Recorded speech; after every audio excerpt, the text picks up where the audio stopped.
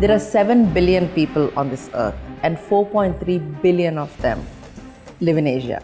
Now, just imagine that means that practically every other person you meet is from Asia. To understand what's ahead, we need to go where most of our future lives.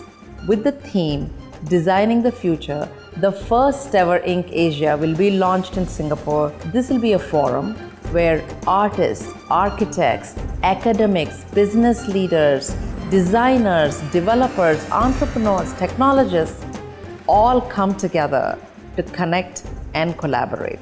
Let's explore Asia's true potential and imagine a future where we move into a modern world while we take our traditions along.